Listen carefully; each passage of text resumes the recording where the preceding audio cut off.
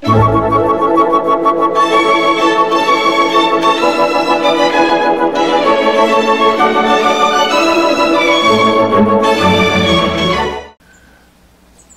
I'm David the Bruce, and here on Steal This Show, we've started a little, mm, several episodes on Annie Oakley from 1954 through 1957, a TV show that has slipped into the public domain, hence that's why it's on this show. But it's an important one, a very, very, very important one, because back in 1954 when Annie Oakley came on television, she was the only female superhero on television, the only one. There were so many cowboy films, I mean tons of cowboy films coming out your ear tons worth of cowboy films, all starring white males, you know, maybe Tonto, Jay Silverheels with the exception, but or I don't know, Cisco Kid, you know, if you but still white, you know. Maybe Hispanic but white. So Annie Oakley was the first female superhero on television. And um, it it it's it's important because of what her character meant to so many young women at that time. Women, you know, at that time were mm, seen more as mm, humans to be domesticated, shut into the house, raising kids, cooking meals, doing laundry. Didn't really have uh, jobs on the outside. Um, if you were a single woman, you might be called an old maid or something. But here, in the midst of all of that prejudice and bias and sexism, rides Annie Oakley, free of any man, bringing in the bad guys, bringing them down. She is amazing, and I think police departments could learn an awful lot about and uh, from the, this series, Annie Oakley, and I'll tell you why. When she brought in the bad guy, she never killed him with her gun. She'd knock the gun out of their hand. She'll, she she would wing them or anything, but she would never kill anybody with her gun.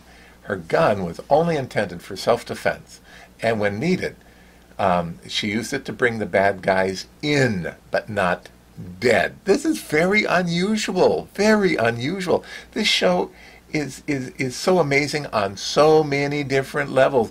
When you watch the show, I'm going to put some factoids on the side. Pay attention to them, and they'll help you to understand even more of the significance of the show and some of the inside stuff that's going on. Anyways, so without any further ado, here's Annie Oakley starring the underrated Gail Davis.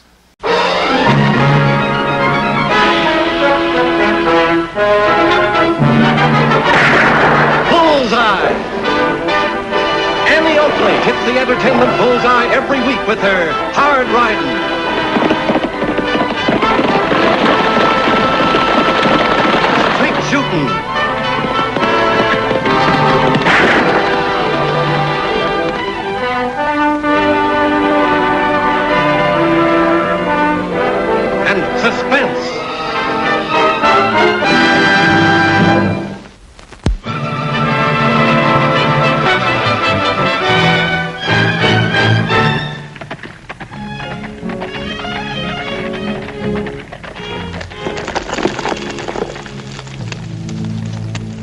Sometimes the sheriff's niece has to follow the trail of killers.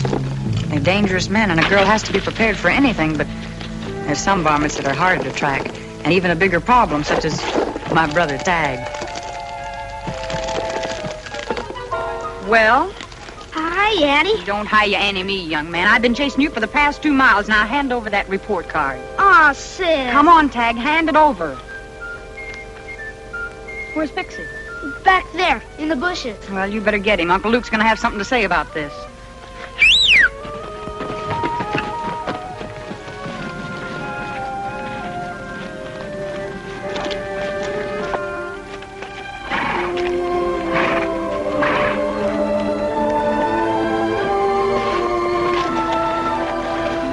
Pretty bad, isn't it, sis? The report card, I mean. Yes, Tag, it was. The worst part of it was you're trying to hide it. I thought if nobody saw it, everything'd be okay. Oh, Tag, that's bad thinking. Two wrongs don't make a right. They never have and they never will. I reckon I didn't think of it that way. I reckon you didn't. You know, I remember someone else who didn't think of it that way one time. And they just about started a full-scale war in Diablo. Gee, when was that? Oh, about two summers ago, Tag. The year you and Uncle Luke were away on a hunting trip. I had ridden out of town to look for Lofty, who was supposed to be at the office attending to business. But I had a pretty good idea where you'd be. And when I reached Canyon Lake, I found I'd guessed right. Lofty was having such a good time while I did all the work that I decided I'd teach him a lesson.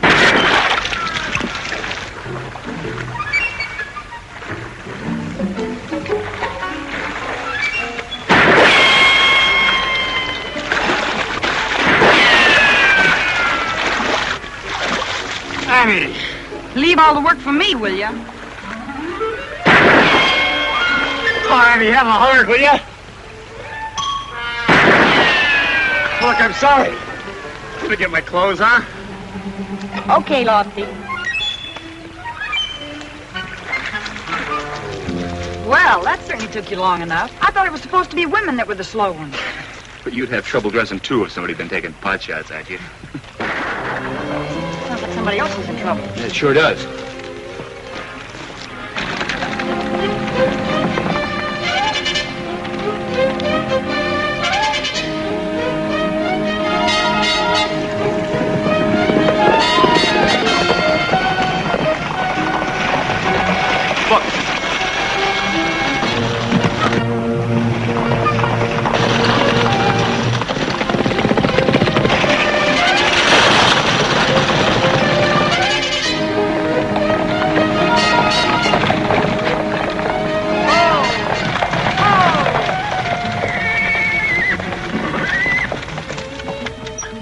You're not hurt, Mr. Kenyon. No, no, don't bother about me.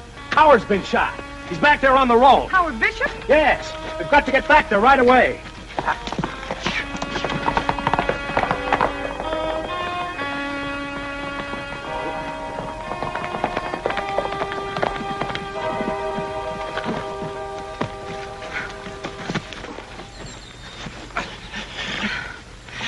Take it easy, Howard. Mr. Kenyon will be here with a carriage in a minute, and we'll get you to a doctor. It's too late for a doctor. Annie, I want you to do something for me. Yes, Howard. My daughter, Priscilla, she's in college in the East. Send for her. Daughter? But where? How do I get in touch with her? The information is in my will. I left her everything. Please, Howard, save your strength. Take care of her, Annie. She'll need your help. She's. She.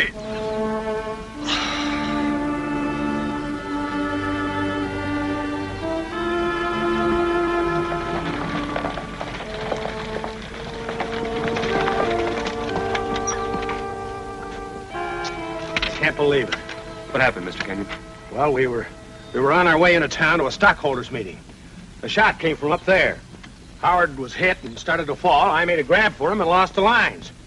And the team bolted and I lost control. Don't worry, Annie. I'll make all the arrangements about the funeral. You know, it's only thanks to you that someone isn't arranging for mine. They'll probably be sorry to hear about that. They? The lowland farmers.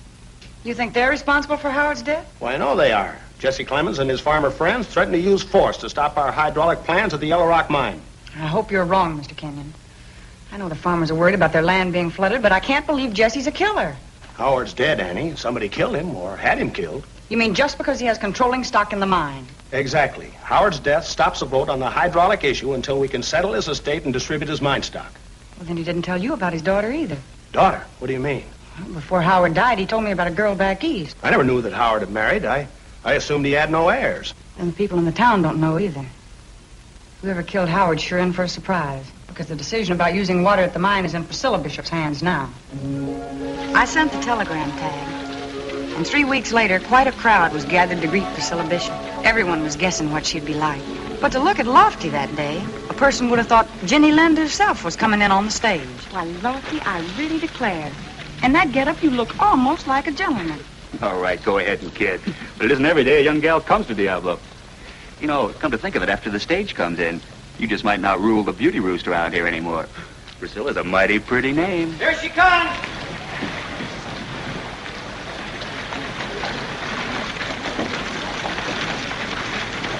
Whoa!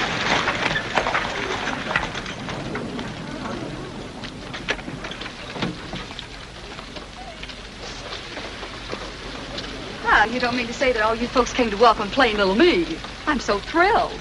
Miss Bishop, I'm Annie Oakley. Welcome to the Diablo. Well, thank you, honey. The pleasure's all mine. But, oh, what's that you call me? Miss Bishop. You are Priscilla Bishop, aren't you? The new owner of the Yellow Rock Mine? Boy, are you confused, dearie. My name's Swartz. I came to work at the saloon. But, of course, if you have a, a mine lying around with no owner... I'm I'd be- Priscilla Bishop, Miss Oakley. Gloria B. An Indian. Wow! I've been mistaken for a lot of things, but never an Indian. I'm sorry, Miss Bishop. I, I know. You weren't expecting an Indian.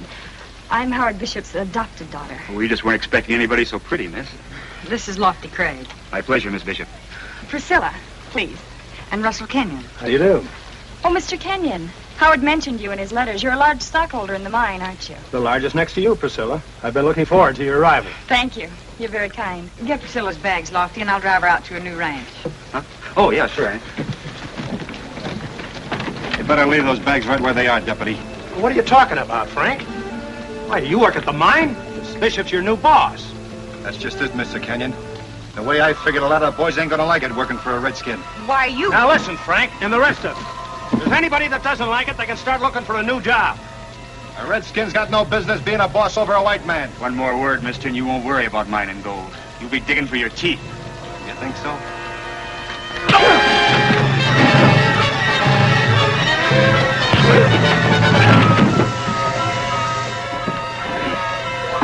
This gentleman coat didn't fit none too well anyway, Annie.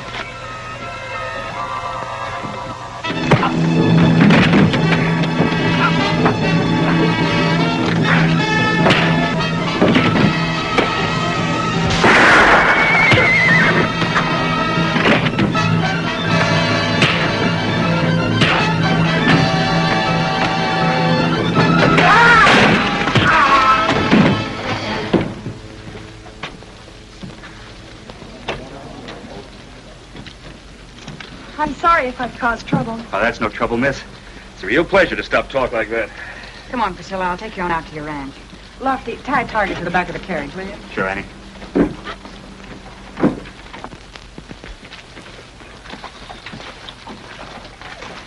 I'm sorry about the little mix-up, Priscilla. Those miners are a hot-headed lot. Sometimes they take a little time to get used to things. But you'll find out. They're on your side. I hope so. Wouldn't have to be no sides, Kenyon, if you people would give up that fool idea for getting your gold out faster than normal. You got your nerve, Clemens. Keep your comments to yourself. Please, Jesse. There have been enough differences for one day. Miss Bishop needs a rest. She's traveled a long way. Eh, I reckon she does need a rest, Annie. She's got a big decision to make for such a little girl. She won't be intimidated by you or your lowland farmer friends. Priscilla owns the controlling stock in the Yellow Rock mine now. You can bet she'll make the right decision. I hope she does, Kenyon. I hope she does. What's he talking about, Mr. Kenyon? What is this big decision I have to make? Uh, it's nothing to be disturbed about, Priscilla. It's simply a matter of business. Howard made the decision before he was killed. I'm sure you'll want to carry out his plans.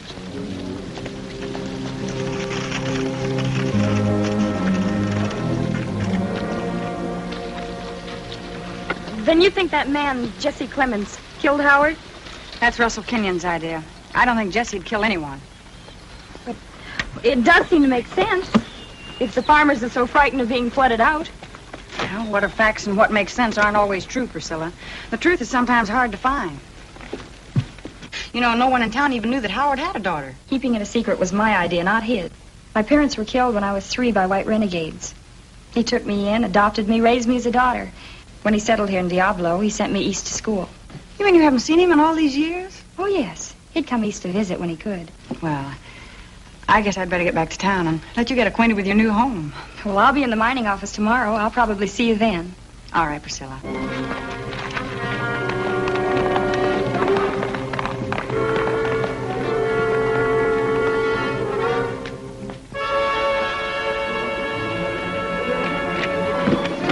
Oh, Annie, is that you? Come on in. What do you want? Just a word, miss. My name's Jesse Clemens. Yes, I know. What I'm going to say won't take much talking, but I want you to listen good to every word. Are you trying to threaten me? No, miss, I sure ain't. I just want to tell you some plain facts about what'll happen if you go ahead with hydraulic mining. I've been told about that. The drainage water will inundate the lowland farms. Is that what you mean? Them's fancy words, miss. But you sure heard right. It'll flood every one of us farmers out, and we don't aim to let that happen. Even if it means another killing? And this time just an Indian? Look, miss, I ain't one to be worrying over skin color, but I'll fight any force, white or red, that threatens to destroy my land. Have you finished? No, there's just one more thing you ought to get straight. Yes. I didn't kill Howard Bishop. Good day to you, miss.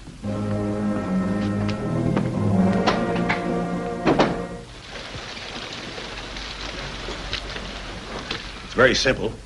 Either we use water methods or we let the men go and close the mine down entirely. We just can't get enough tonnage out by hand anymore. I realize that. Well, it seems to me that you'd want to respect Howard's wishes. After all, he was doing it for your people. My people. Well, yes, yes. Howard intended to devote all the profits from the Yellow Rock mine to the Indian tribes in this area. Provide food, shelter, opportunity.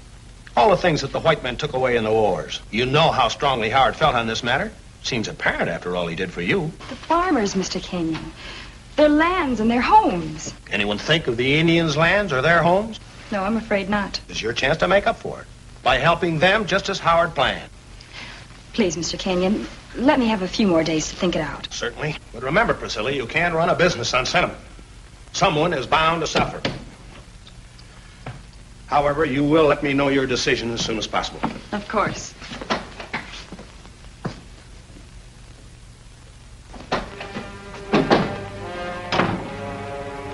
Well, did it work, Kenyon? Yeah, she says she'll have to have a few more days to think it over. Priscilla! Where you heading? To try and think things out, Annie. I'm afraid college didn't prepare me for making a decision that has to hurt someone. The farmers on one side and the miners on the other. I just don't know what to do. I'm sure you'll make the right decision, Priscilla. Just give yourself plenty of time. I'm going to.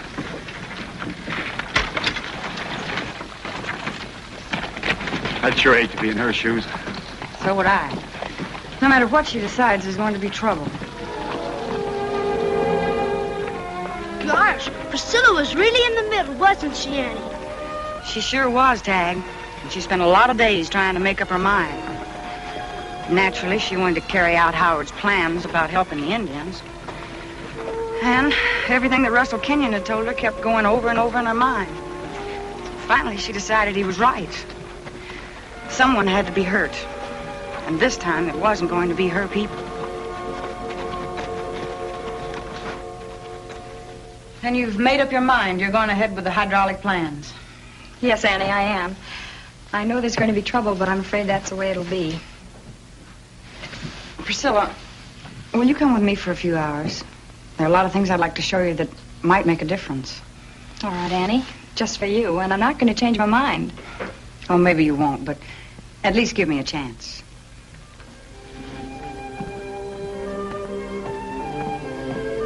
I showed Priscilla acres and acres of farmland stretched out over the valley. And looking down, she could see the vast areas.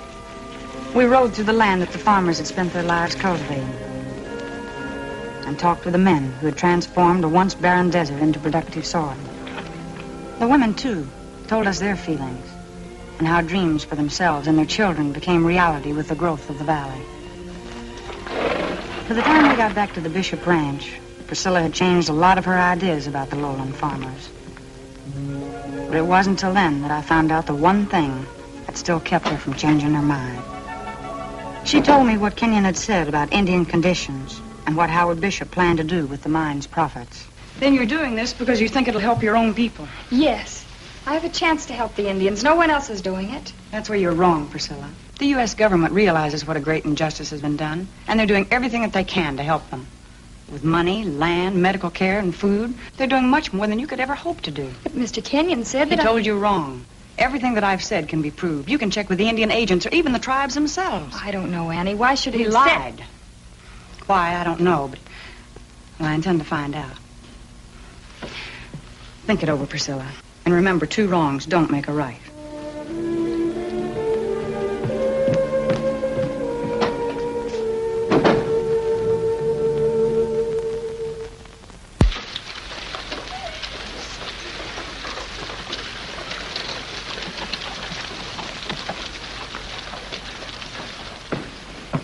Oh, Priscilla. Morning, Annie. You're in town early. Too early, I guess. Mr. Kenyon isn't in the office yet. Oh, here, sit down. Thank you. I uh, came to tell him my decision. You were right, Annie. I realize that now. Two wrongs don't make a right. I've decided not to use hydraulics, even if it means closing down Yellow Rock. You'll gain a lot of friends by your decision, Priscilla. Mr. Kenyon will be upset, though, but as he said, someone has to be hurt. It'll be a lot easier for the miners to find new jobs than for the farmers to clear new land and build new homes. Mail came in, Annie. Oh, hi, Priscilla. Hey, there's a letter here for you. I was going to run it out to the ranch. What is it, Priscilla? It's a letter from Howard that must have reached school after I left. They sent it back here. It was mailed the day before he was killed.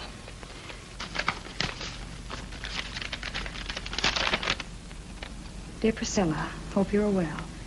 We are very busy here. The survey proved... I don't understand this. What's wrong, Priscilla? Here, Annie, read it. The survey proved conclusively that hydraulic mining would flood the lowlands. So I've decided against it.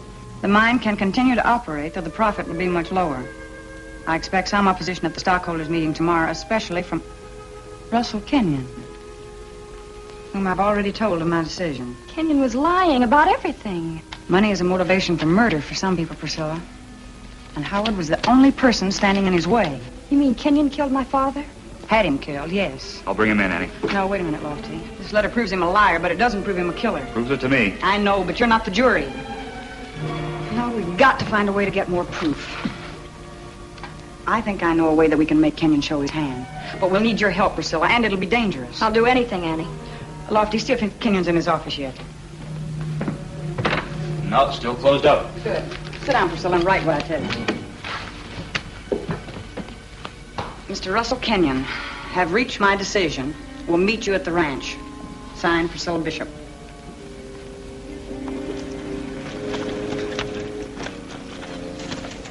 She's there like the note says, Kenyon. You sure you're going to need me again this time? Only if she doesn't decide our way. If she does, you won't get this signal. I still think it's a wrong move pulling the same stunt you did to get Howard Bishop. You're paid to shoot, not to think. All right. You're the one that's got to talk your way out of it, not me.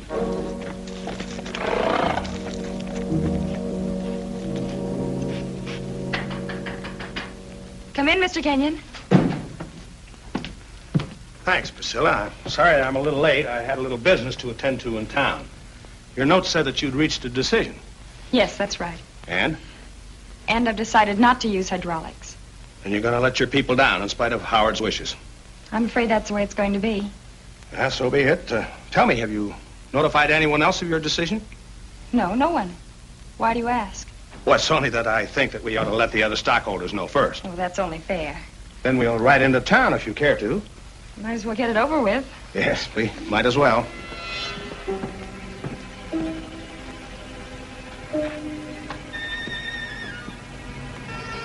Oh, uh, I'll ride with you if you don't mind. I can pick up my horse when we get back. All right.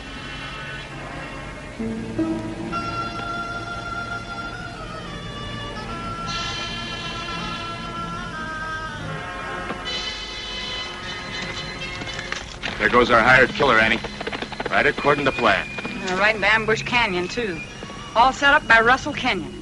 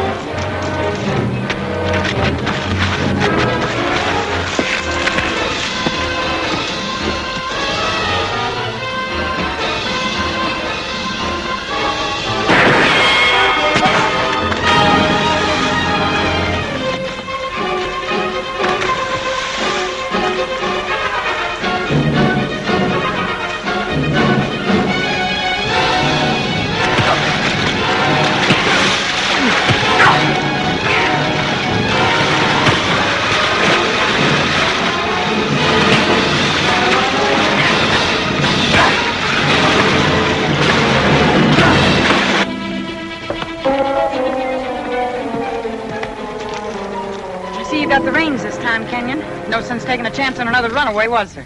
What do you mean? Well, what was all the shooting about, Annie? That was just your plan going wrong. We've got your hired killer. Hired killer? I don't know what you're talking about. That's what we're talking about. Take a look. I've never seen that man before in my life. Save your breath, Kenyon. Your boy here talked. Said you hired him to kill Howard Bishop. You're all through. You can't prove it. I think you better get on the ground, Kenyon. You're less trouble down there. Actually, he didn't say a word, Kenyon. He's too full of water. Your plan worked real fine, Annie. Thanks to Priscilla. I'll have to admit I was a little nervous. Let's get back, Lofty, and tell the people the mine's going to operate as usual, without the water that'll ruin the lowland farm. Yeah. I think some of the folks are going to want to come around and apologize to their new neighbor. Keep him covered, Annie. I'll get the horses. Gosh, Annie, that was quite a story. Now I see what you mean about two wrongs not making a right. That's why I told it to you, Tag. But I've still got to show your report card to Uncle Luke. Hey, Tag, did you see what I did with that card? Sure, you put it in your pocket. Yeah, but it's gone. Yeah, it fell out way back in the road. I was so interested in your story, I plumb forgot to tell you about it. Forgot? Why, you little Kyle.